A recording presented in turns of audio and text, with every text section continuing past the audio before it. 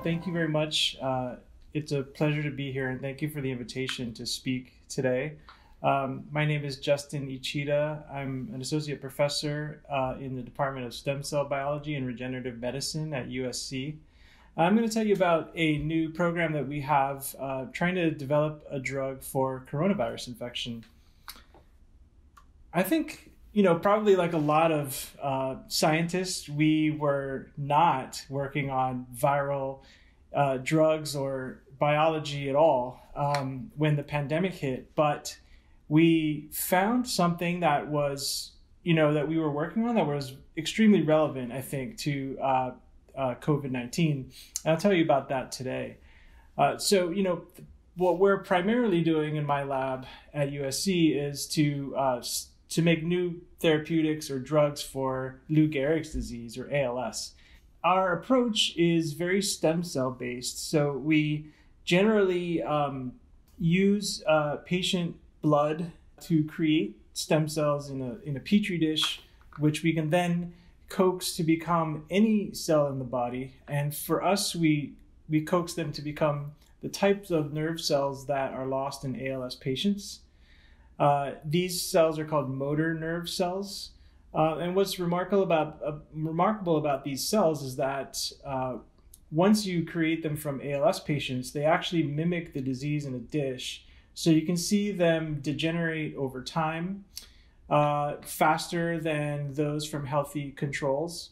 And uh, that allows you to search for new drugs that might help ALS patients by screening through all of the drugs that are available and finding the ones that best you know rescue the survival of those ALS patient nerve cells in a dish. And so that's one of the projects that we've really been doing in the lab over the past several years.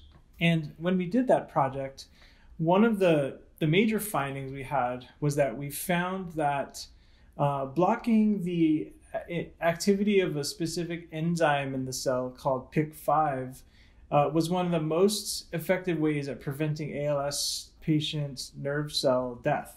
And you can see that in this picture here. Um, all of these white cells are motor nerve cells from an ALS patient. You can see with placebo, there was really no effect. Uh, there was really a, a large loss of the of the cells. Um, but with this drug called the PIK5 inhibitor, uh, you can see that we preserved many of these. Now, uh, one thing that's important is that the known or existing PIK5 inhibitor uh, chemicals uh, that are that are out there today, um, none of them are really suitable for using in humans. The reason is because they're very unstable in the body uh, they don't last long enough to really elicit the therapeutic benefit.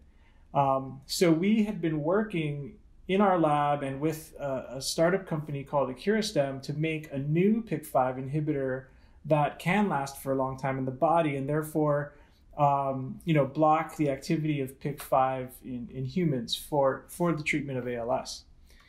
Now, what happened was once the pandemic hit, um, uh, people had a you know really scrambled to find uh, if there were any types of known chemicals that could block coronavirus infection. And so uh, some of the folks down in San Diego did a, a screen uh, and they tested all known chemicals, including the FDA approved drugs, um, all known chemicals that had ever been tested at some point in humans. There are 12,000 of these and they looked for things that uh, blocked coronavirus infection in cells in a dish. And what they found was that the same type of chemical that we had found to be effective at rescuing ALS motor nerve cells was also the most potent way to block uh, coronavirus infection. And this is their result. Um, and basically, all you need to know is that each of these boxes represents one experiment. And as you go from left to right, uh, they're increasing the amount of these different drugs that you have on the right here. And as you go, as you increase in concentration, when you get to the yellow boxes, that means the virus is being blocked from infecting the cells. And you can see that this PIK5 inhibitor, apilimumab, blocks the the cells from being infected much earlier at much lower concentrations than any of the other chemicals, including the one drug here, remdesivir, that is already approved for has been shown to clinically uh, reduce uh, coronavirus infection. So this type of drug, this PIK5 inhibitor, is about 20 or 30 times better at blocking viral infection than the, the drugs that we have today. And so we thought that, wow, we should really test our new PIK5 inhibitors that we're making that can now survive for a long time in human in the body uh, for the ability to block coronavirus infection and we should move this towards the clinic. And so that's the project that CIRM uh, funded uh, for us to do. And so why the question is why does it block infection? Um, and and this cartoon can help to illustrate that. So this is just a picture of a cell that's been kind of chopped in half. Uh, and you're sort of looking at a cross section of the cell. Um, and what you'll see is that um, the, the, the virus can enter cells in two different ways. And I'm going to concentrate primarily today on this late pathway. There's also an early pathway, which I'll briefly mention.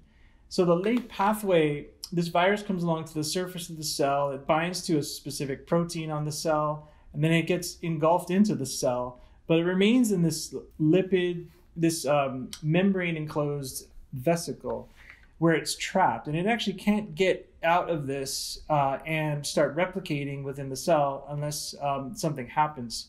So, what happens is that enzyme that I talked about, PIC5, it helps to get this vesicle to fuse with another type of membrane enclosed vesicle called a lysosome. When that happens, some of the proteins in the lysosome can actually activate this um, virus to be able to crawl out of that vesicle. And when it does that, now the virus gets released into the rest of the host cell and it can replicate and amplify. So if you block PIK5 activity, this virus remains trapped in these vesicles and never can replicate and, and really fully infect the cell. And so that's how we're blocking uh, the infection. Um, what makes the virus, the coronavirus, tricky is that it has a second way of infecting cells called the early pathway.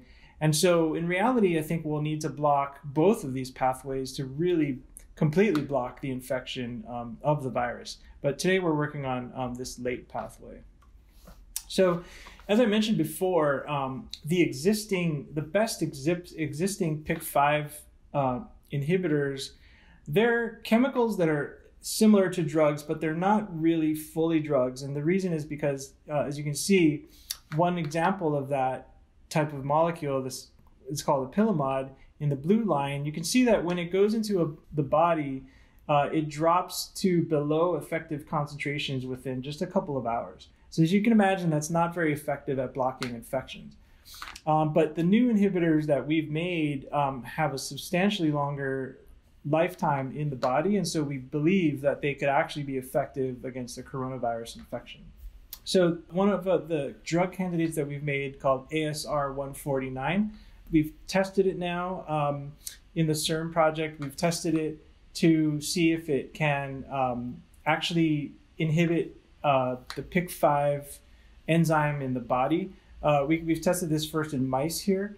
Um, these are just a cross section of lung tissue um, from mice, and everywhere where you see these green spots uh, here, these are evidence that the drug ASR 149 is actually inhibiting PIK5 in these lung cells. And so, what you notice is that with ASR 149, you see a lot more of the green spots which really indicates that it's getting into the lung where the where the coronavirus would normally infect and it's blocking the PIK5 activity in those lung cells. So that is very promising uh, for the ability of it to hopefully block coronavirus infection in people. What we've done besides that is go into now making sure that our new PIK5 inhibitor called ASR 149 uh, still inhibits PIK5 with high uh, efficiency. And so we this is an example of that where we have um, a, slightly weakened version of the coronavirus that doesn't replicate, uh, in, and so we can use it safely in our lab at USC. and then we would um, compare its ability to, uh, we compared the ability of that coronavirus to infect cells. Um, if we had, um, you know, either a, a, placebo control, which is called DMSO here, or our ASR 149, you can see that ASR 149 severely blocked infection of the cells. Remdesivir did not block infection in this case, and we didn't expect it to because although it works in in humans, uh, it works by blocking the the viral replication process. And since these are replication defective coronaviruses, uh, we're just looking at one a single infection of cells, and so we're not looking at replication at all. So we didn't expect remdesivir to work, and it definitely didn't. Uh, but the bottom line is that um, ASR 149 was very effective here. So then we took it one step further and we, we tested it against real live replicating coronavirus. And this had to be done at a special facility um, in Utah. And what they found is that um, they're looking at, in this case, they're looking at the ability of coronavirus to block infection. And so the higher you go on this y axis means there's more blockage against the virus. Uh, and you can see that as we went higher in the dose of 149, we got to a point where we limited, we blocked infection by 100%. Um, and this was about 100 or 200 times more, uh, less concentration. We needed about 200 times less drug uh, than the amount that actually starts showing toxicity to the cells themselves. And so this is a very nice therapeutic, you know, window where we don't we don't cause any toxicity in the area where we're where we're really already blocking the virus. Um, and so this means that our drug, uh, if it's delivered to the cells at the right concentration, will definitely block the coronavirus infection. Um, so what we're doing now is taking this one step further, where we've worked with our colleague at USC. Uh, she's another professor. Her name is Yawen Chen. And uh, she's a stem cell expert of a different sort. Um, remember that as we used stem cells made from patients' blood to make motor nerve cells, uh, she specializes in making um, lung tissue from these stem cells. And so, what she's made are these uh, miniature lungs in a dish. Um, she's shown that if she makes a coronavirus that um, encodes a, a, little protein that, that makes the, the resulting infected cells green, uh, you can see that it infects these cells all along here and makes them bright green. And so now what we can do is test to make sure that the drug blocks uh, coronavirus infection in in in miniature lungs uh, from from humans, and we can determine if it if there's any variability between different types of of people, uh, and and the ability of this drug to block infection into their lung cells. And coincident with that, we're also testing this in, in some small animal models like the hamster, who the hamsters get infected very well by the coronavirus. And so we can make sure that the drug blocks the ability of the coronavirus to infect the hamster cell, uh, the hamsters. Uh, and once that, if that looks good, we will be moving quickly towards um, clinical trials. So, uh, in, in, conclusion, um, the key points are that you know the coronavirus enters cells through both an early and a late pathway, and blocking an enzyme called PIK5 is is one of the most potent ways of blocking the late pathway. And so we've, uh, unfortunately, the drugs that are, ex- uh, the, the, the, chemicals that are existing for PIK5, blocking PIK5 are not good drugs. So we developed a new PIK5 inhibitor. Uh, although we were planning to use it for ALS patients, um, we are now trying to see if we should repurpose it uh, for blocking the coronavirus infections, uh, treating COVID 19 patients. And what we know so far is that it like some of its predecessor chemicals, it potently blocks coronavirus infection in the dish. So we've preserved the antiviral activity and we've given it a better longevity in, in the body. And uh, so we think it's a drug that uh, could work quite well. Uh, so, in conclusion, I'd just like to thank uh, the people in my lab who've contributed to this work. Um, Yichen and Manuel have have been the major contributors in my lab. Uh, Monica Zhou and Wen Wenchuan Chang have been key uh, contributors from AkiraStem, and our collaborator at USC, Yawen Chen, ha- has now provided us these uh, miniature lungs in a dish uh, for us to test efficacy. And the majority of this work has been uh, supported by CIRM. as well as some of our other uh, funding agencies. So thank you very much.